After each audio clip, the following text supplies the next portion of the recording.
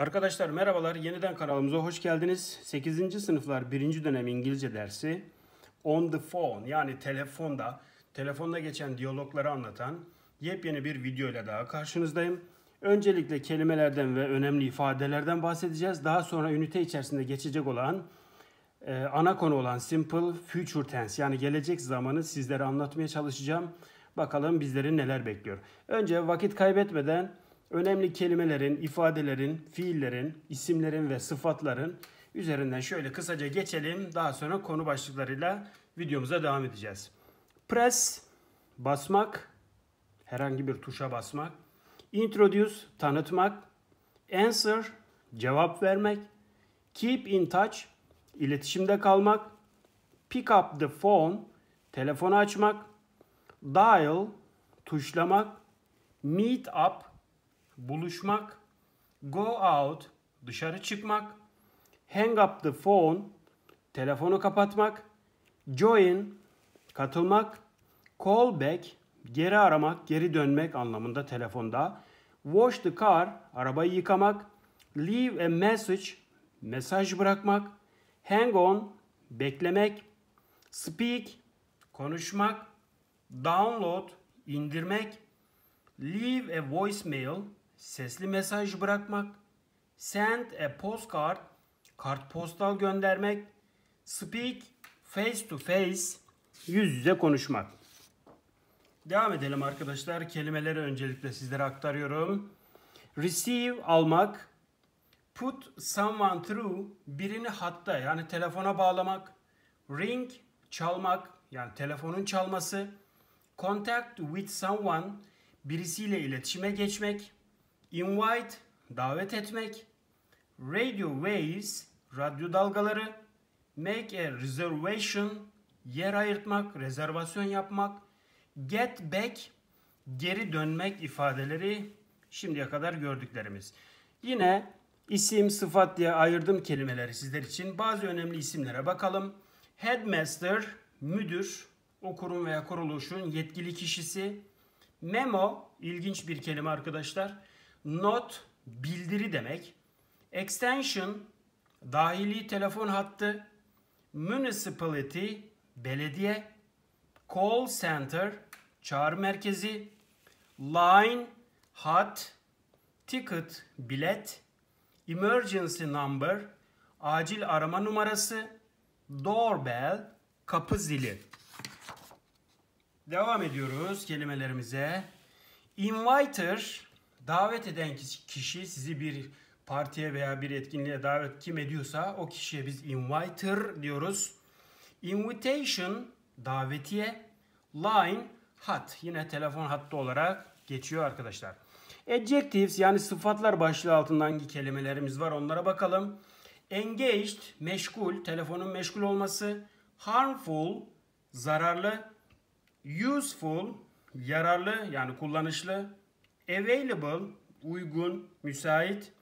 Cool, havalı. Scared, korkmuş. Angry, kızgın. Happy, mutlu. Embraced, utanmış. Crazy, çılgın. Smart, zeki. Surprised, şaşırmış, şaşkın vaziyette olan kişiler için kullanılır. Sleepy, uykulu.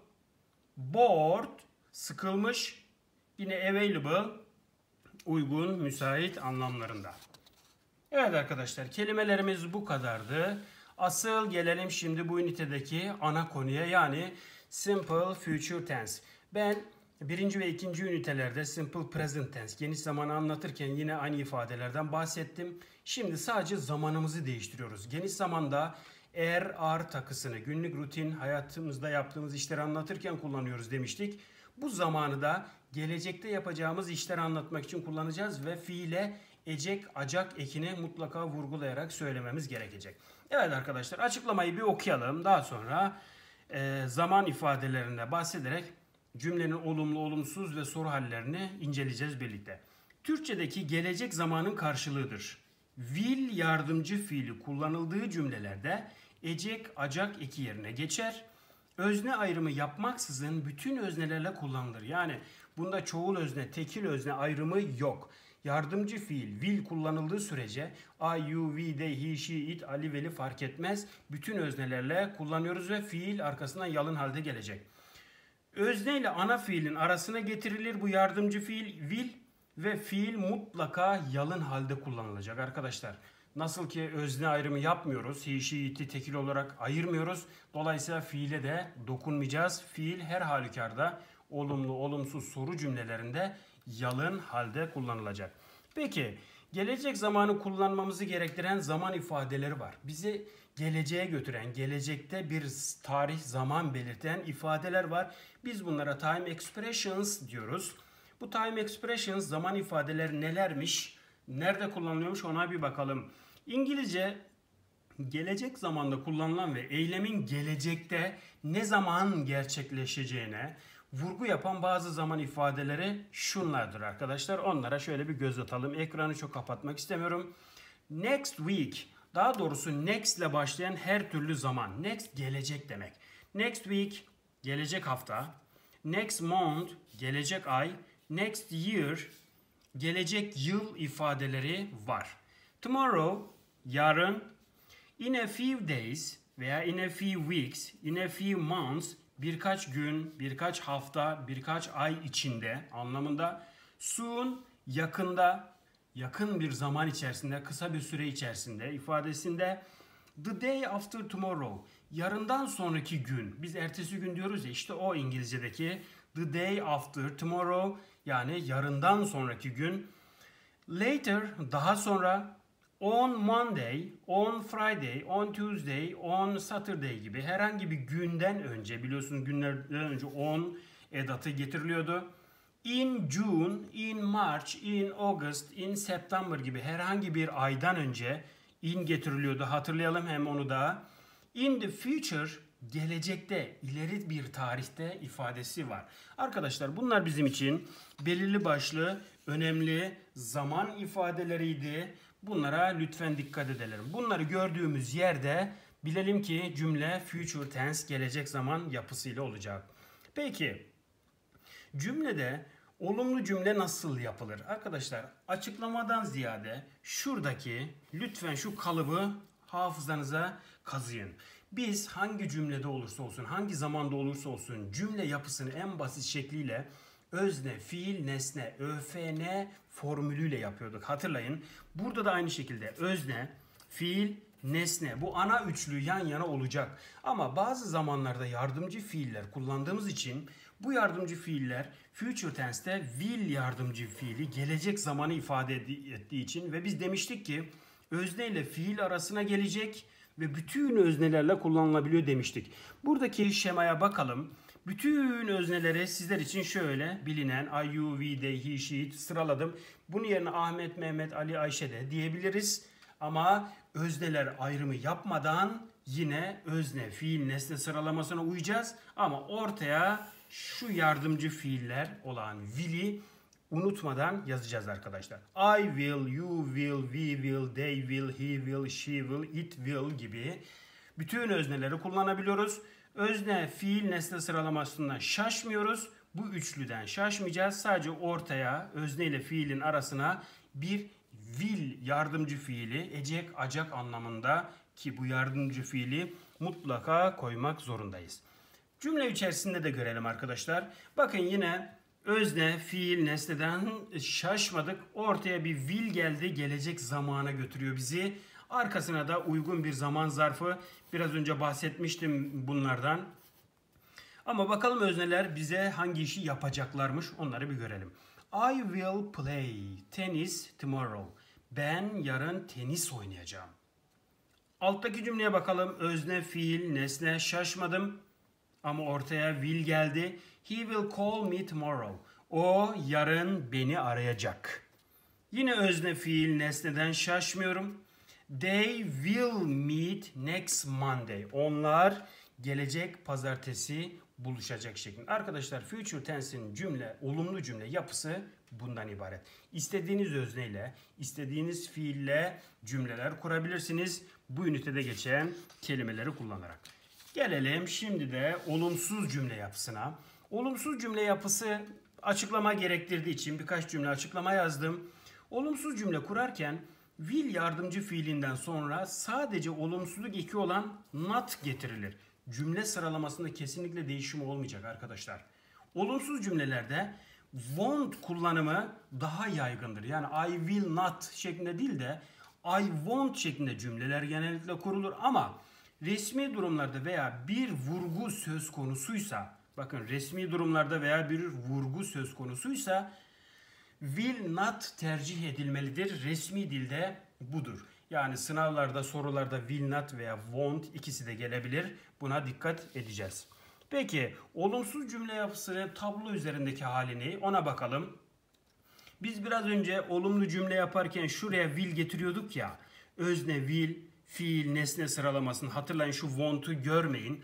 Bu olmadan normal olumlu cümle yapımız bu. Ama cümleyi olumsuz yapacaksak ya will not getireceğiz ya da kısaltılmış hali won't getireceğiz. Yine özne ile fiilin arasına gelecek bu olumsuzluk yardımcı fiili. Peki yine aynı şeyleri söyleyeceğim. Bütün öznelerle kullanabiliyoruz. Arkasından fiilimiz, nesnemiz tabii ki varsa zaman zarfımız olacak. Olumsuz cümle yapısı da bu şekilde olacak. I want, you want, we want, they want, he want, she want, Ali want, Veli want gibi. O işi yapmayacağını ifade edecekse bu cümle yapılarını kullanmak zorundayız. Burada da yine örnekler üzerinde görürsek daha kalıcı olacaktır. İstediğimiz özneyi seçebiliyoruz. Özne ayrımı yapmaksızın dedim. Fiile dokunmuyoruz yine. Ama olumsuz yapacaksak want yardımcı fiilini getireceğiz. I won't play tennis tomorrow. Ben yarın tenis oynamayacağım. He won't go to the cinema next weekend. O gelecek hafta sonu sinemaya gitmeyecek. Hem bakın zaman zarflarını görüyoruz cümle üzerinde hem de buraya kadar olan cümle yapılarını görüyoruz arkadaşlar. Bakın I want, he want, we want. Hepsi aynı mantıkla istediğimiz işi, istediğimiz fiili arkasına yalın halde getiriyoruz ve o işi yapmayacağımızı belirtiyoruz. We won't eat hamburger today. Biz bugün abur cubur veya hamburger yemeyeceğiz şeklinde ifade edebiliriz. Hemen gelelim bir de bu konunun olumsuz cümle yapısına. Arkadaşlar question forms dediğimiz olumlu olumsuz cümle, soru cümle bunları gördükten sonra question forms dediğimiz soru cümle yapısına şöyle bir açıklamasıyla birlikte örneklerine bakalım. Soru sorarken will yardımcı fiili bakın hep will ile uğraşıyoruz. Düz cümlede will, olumsuz cümlede won't, soru cümlesinde yine will'i kullanacağız ama bu sefer fiili, yardımcı fiili cümle başında yer alır. Bütün zamanlarda hatırlayın eğer bir soru soracaksak yardımcı fiil öznenin şöyle başına ilk tarafa ilk başa gidiyordu cümlede. Ancak bir soru kelimesi kullanılarak soruyu sorulmak istendiğinde bu yardımcı fiil, will yardımcı fiil öncesinde bu soru kelimelerini kullanırız. What, when, which, why, how, how often, what time gibi hani WH questions dediğimiz bu soru kelimeleri will'in de önüne gelerek cümleye yine gelecek zaman anlamı katarız ama şu sıralamadan lütfen yine şaşmayalım aşağıda örnekleri göstereceğim size. Will I. Bakın yine bütün özneler aynen yerini almış. Dikkat edin. Will'i kapattım. Simple present tense yapısı. Özne, fiil, nesne, özne, fiil, nesne, özne, fiil, nesne, özne, fiil, nesne. Hangi zamanda olursa olsun, hangi konuda olursa olsun ÖFN açıklamasından, sıralamasından şaşmayacağız. Özne, fiil, nesne. Tabii ki yardımcı fiiller bizi değişik zamanlara götürebilir. Bu da işin dikkat edilmesi gereken noktası. Burada bizim gelecek zamanda will yardımcısını en başa almamızın sebebi soru sormak içindi. Çünkü ne dedik yukarıdaki açıklamada?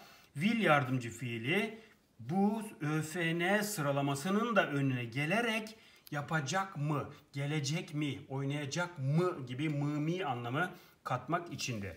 Hemen örnekler üzerinde görelim arkadaşlar. Bakın will'ler hep başta. Buraya kadar dikkat edin. Bundan sonraki WH question'lar örnek. Will you play tennis? Will'i kapattım. Özne, fiil, nesne. Sen tenis oynarsın. Geniş zamandan hatırlayın ama will başta olduğu zaman Will you play tennis tomorrow? Sen yarın tenis oynayacak mısın? şeklinde gelecek zamana dair bir soru sorduk. Özdemiz yine değişebilir. Yapacağımız işler değişebilir ama sıralama kesinlikle aynı. Buradan şaşmayacağız. Will he play tennis tomorrow? O yarın tenis oynayacak mı? Will they watch movie tomorrow? Onlar yarın film izleyecekler mi? Bakın her türlü özneyle her türlü fiili kullanabiliyorum. Yeter ki sıralamadan şaşmayalım. Bir de demiştik ki bir soru kelimesi kullanılarak soru sorulmak istendiğinde yani şu WH question'ları kullanarak soru sormak istediğinde ne yapacaktık? Will yardımcı fiilin öncesine bakın yardımcı fiilin öncesine bunun da önüne bu kelimelerden bu soru kelimelerden herhangi birini gördük mü koyduğumuz zaman soruya sadece yön veriyoruz. Zamanını, e, ne olduğunu, saat kaçta olduğunu, olacağını ifade etmek için bu soru kelimelerini WH question'larını koyuyoruz ama yine arkasındaki sıralamadan şaşmayacağız. What will they eat? Bakın what'ı kapatayım. Will they eat? Onlar bir şeyler yiyecek mi? Soru bu normalde. Biz böyle kullanmıştık. Ama önüne what geldiği zaman what will they eat? Onlar ne yiyecekler anlamına döndü. Bakın what'ı burada vurgulamış olduk. What time? What time deyince aklımıza saat gelsin. What, the, what time will you sleep? On, e, sen saat kaçta uyuyacaksın? Yapacağın işin kaçta olacağını soruyoruz. Where nerede demekti? Nerede, nereye anlamında. Where will Ahmet go? Veri kapattığım zaman will Ahmet go? Ahmet gidecek mi oluyor iken where kelimesini, soru kelimesini başa eklediğim zaman Ahmet nereye gidecek anlamına dönüyor cümle yönleniyor arkadaşlar. Bu WH question'larını koysak da koymasak da sıralama bu şekilde olacak. Will başta, arkasına özne, arkasına fiil, e, nesne ve zaman zarfı diye cümlemiz uzayıp gidiyor. Ama bu baştaki yapıdan şaşmayalım. Önüne when, what time, where, which, why gibi kelimeleri çok da rahat getirebiliriz. Ama arkadaki sıradan lütfen şaşmayalım. Evet, future tense'in soru cümle yapısı da bu şekilde. Bu cümlede içerisinde geçen, bu ünite içerisinde geçen daha doğrusu önemli soru kalıpları, yapılar var arkadaşlar. Sınavlarda bu sorular bol bol çıkıyor. Bunları sizler için e, derledim. Onlara da lütfen bol bol izleyip bir yerlere not alıp öğrenmenizde fayda var. Bakalım nelermiş. 8. sınıf İngilizce 4. ünitesi olan On the Phone ünitesi içerisinde yer alan soru kalıpları ve Türkçe anlamının aşağıdaki gibi sıralanmıştır. Bakalım nelermiş. Bu ifadeler gerçekten çok önemli. Buraları durdura dura dura not ala ala izlerseniz özellikle aklınıza yazarsanız sınavda çok rahat edeceksiniz ki bu videolardan sonra 5. videodan sonra da özellikle LGS İngilizce soru tiplerini çıkmışları çıkabilecekleri hep sizinle paylaşacağım. Lütfen kanalımızı takip etmeye devam edin. Alright sir. Bunlar hep konuşma dilinde telefonda söylenebilecek şeyler. Bu şekilde düşünerek ifade edelim. Alright sir. Peki efendim. Karşımızdaki kişiyi onaylıyoruz. Calm down please. Sakin olun lütfen. Can I have your name please? Adınızı alabilir miyim lütfen? Adınızı öğrenebilir miyim lütfen? Can you hold a moment? Biraz bekleyebilir misiniz? Can you stay it? Can you say it slowly please? Yavaş yavaş söyleyebilir misiniz lütfen? Anlamadığımız durumlarda ifade edilen bir soru yapısı. Certainly sir. Tabii ki efendim. Ne demek anlamında? Could I speak to Furkan? Furkan'la konuşabilir miyim? Could you repeat that please? Tekrarlar mısınız lütfen? Could you speak louder please? Daha sesli konuşabilir misiniz lütfen? Could you tell him to contact with me? Ona benimle iletişime geçmesini söyleyebilir misiniz? Could you tell her to call me back? Call back geri aramak, geri dönmek demiştik. Ona beni bugün geri aramasını söyleyebilir misiniz? Don't hang up the phone. Telefonu kapatmayın. Hold on, bekleyin anlamında. Excuse me, affedersiniz. For English, please press 9. Bunu günlük dilde çağrı merkezlerini ararken bol bol du- duyduğumuz bir ifade. Please press 9, press 1, press 2 gibi. İngilizce için lütfen 1'e basın, 3'e basın, 9'a basın gibi bizi yönlendirme ifadeleri her zaman mevcut konuşma dilinde telefonda. Peki devam edelim. Hang on a minute. Bir dakika bekleyin. Have a good flight. İyi uçuşlar. Have a nice day. İyi günler. Hakan isn't available at the moment. Hakan şu an müsait değil. Yani meşgul bir başkasıyla görüşüyor. Bir işi var anlamında. Available müsait meşgul olmayan anlamında. Buna dikkat edelim. Hakan şu an müsait değil. Isn't var. Dikkat edin. How do you keep in touch with your friends? Keep in touch biriyle iletişimde olmak, iletişim halinde olmak. Arkadaşlarınla nasıl iletişim kurarsın? How do you spell your name and surname? Adınızı ve soyadınızı nasıl harf harf kodlarsın? Spell, bunları hatırlayın ikinci sınıftan beri görüyoruz hep. Spell, harf harf söylemek, tek tek söylemek anlamında söyleniyordu arkadaşlar. How may I help you veya how can I help you? Size nasıl yardımcı olabilirim? Size nasıl yardım edebilirim? I beg your pardon. Pardon, affedersiniz. Yani söylemediğiniz şeyi, söylediğiniz şeyi anlamadım. Tekrar eder misiniz gibi.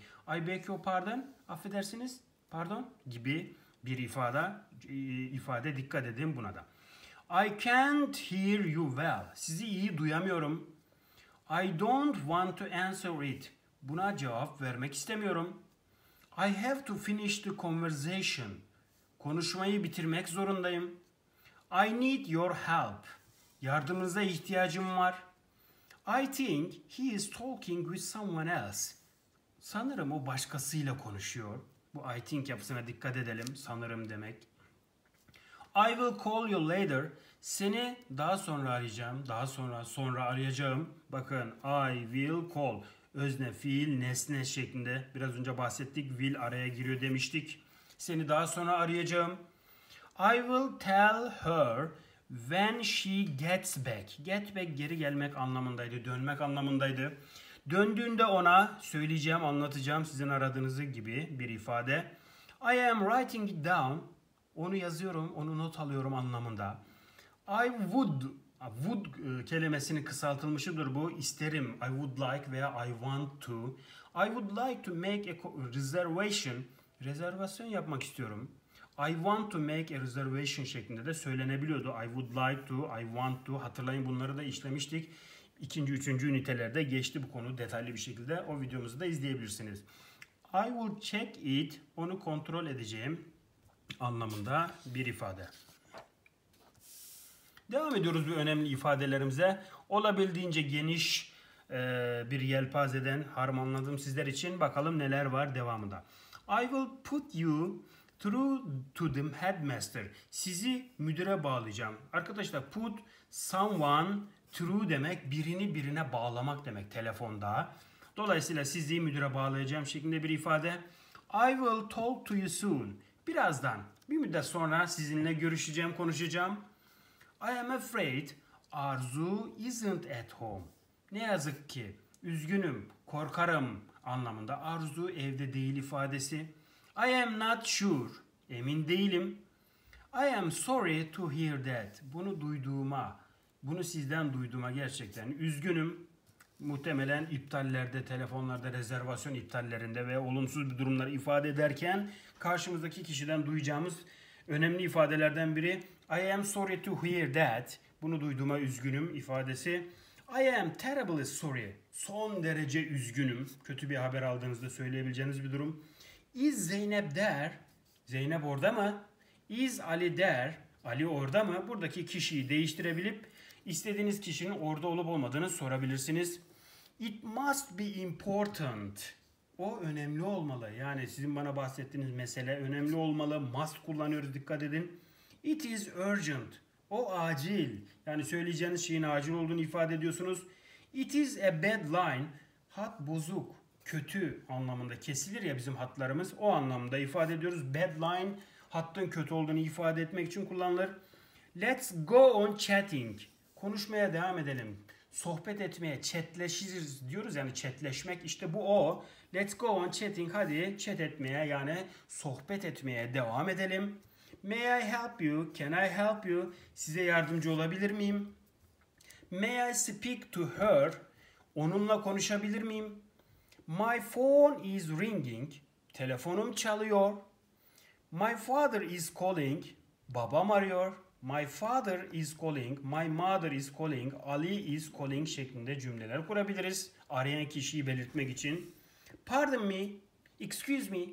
Efendim, pardon, affedersiniz. Hep aynı anlama gelen değişik ifadeler. Please hang on. Lütfen bekleyin, hatta kalın deriz ya. İşte bu, bu ifadeyle söylenir. Please hang on, hatta kalın. Repeat it please. Tekrarlayın lütfen. Say it again please. Tekrar söyleyin lütfen. Bakın hep birbirine benzeyen ifadeler ama değişik kelimelerle söyleniyor. Hepsi bu. Bunlara lütfen dikkat edelim ve ifadelerimize devam ediyoruz. Single or return. Tek yön mü yoksa gidiş dönüş mü? Hani bilet alırken konuşuruz ya. Ya veya oradaki bilet satan kişi size bunu sorar telefonda. Single or return. Tek yön mü yoksa gidiş dönüş mü istiyorsunuz anlamında söylenir single or return. Sorry, what did you say? Affedersiniz ne dediniz? Duyamadım ifadeleri. Bununla söylenir. Take care, kendine iyi bak. Thanks for calling, thanks for watching, thanks for inviting. Bakın bu thanks for'dan sonra gelen fiil ing takısı getiriyoruz. Beni aradığın için, beni davet ettiğin için, beni izlediğin için, benimle konuştuğun için vesaire insana teşekkür etmek için kullanılır. Wait a minute. I will take a note. Bir dakika bekleyin not alacağım. We are looking forward to seeing you. Bakın look forward to bir yapıdır arkadaşlar. Bir şeyi dört gözle beklemek, sabırsızla beklemek anlamında. Sizi görmeyi sabırsızlıkla bekliyoruz, dört gözle bekliyoruz anlamında. We are looking forward to seeing you ifadesine dikkat edelim. Bunun bir ifade, bir yapı olduğunu unutmayalım İngilizce'de. Karşımıza çıkabilir sınavda. We will meet next Sunday. Gelecek pazar görüşeceğiz. Bakın we will meet. Biraz önce will konusunu işledik. Karşımıza çıkıyor. Burada birkaç örnek yine görüyoruz. We will meet up later. Meet up buluşmak demekti. Kelimelerden hatırlayın. Sonra buluşacağız. What is the invitation about? Davet ne ile ilgili? Bu davetin konusu nedir anlamında? What's your phone number? Senin telefon numaran ne veya telefon numaranız nedir? WhatsApp. Bu konuşma dilinde çok kullanılır arkadaşlar. WhatsApp Ali, WhatsApp Ayşe. Aslında cevap verirken de aynen WhatsApp diye cevap verir. İyilik senden ne haber gibi. Bakın WhatsApp konuşma dilinde, telefon dilinde çok duyulur. WhatsApp ne haber demek bizdeki birebir karşılığı. When will Faruk be back? Faruk ne zaman dönecek? Ne zaman geri gelecek? Burada istediğiniz ismi değiştirebilirsiniz. Who is the inviter? Inviter davet eden kişi demiştik. Kelimelerden hatırlayın. Davet eden kim? Bizi kim davet ediyor? Why don't you join us? Bize neden katılmıyorsun? Why don't you? Bunu hatırlayın bu bir yapıydı. Would you like to? Bu da bir yapı. İster miydin? Ne ister miydik? Arkasına yazdığımız fiil neyse o. Join katılmak. Bize katılmak ister misiniz? Would you like to leave a message? Bir mesaj bırakmak ister misin? İster miydiniz? Daha nazik olmak gerekirse. Yep. Yep de konuşma dilinde evet anlamında. Yani yes demek. Yes, see you there. Evet, evet orada görüşürüz. You must confirm your reservation. Rezervasyonunuzu onaylamalısınız. You're welcome. Size iyilik yapan biri, birine iyilik yaptığınızda daha doğrusu teşekkür edildiğinde you're welcome dersiniz. Yani işinizi gören, halleden birine teşekkür ettiğinizde karşılık olarak önemli değil, rica ederim, lafım olur falan deriz ya biz Türkçe'de. İşte bu İngilizce'de you're welcome şeklinde söylenir. Evet arkadaşlar bugünkü videomuzun da sonuna geldik. Bu videomuzda sizlere dördüncü üniteden bahsetmeye başladım. Bah, bah, bahsetmeye çalıştım. Özür diliyorum dilim dolaştı. Bu ünite ilk 5 ünite dahil olduğu için dördüncü ünite önemli. Ana konumuz future tense, gelecek zaman yapısı. Bundan sonraki ünite ve konu anlatım videolarımıza daha kolay erişebilmek için lütfen kanalımıza abone olup arkadaşlarınıza tavsiye edin. Onlar da LGS sınavlarında başarılı olsunlar. Kanalımızı beğenip abone olmayı da unutmayın. Hepinize başarılar diliyorum. İnşallah LGS sınavından sonra güzel haber ve yorumlarınızı bekliyoruz. İyi çalışmalar, hoşça kalın ama bu sıkıntılı günlerimizde lütfen evde kalın. Evde kalırken de özel öğretmen kanalımızda kalıp videolarımızı bol bol izlemeyi ihmal etmeyin. Hepinize başarılar. Hoşça kalın, dostça kalın.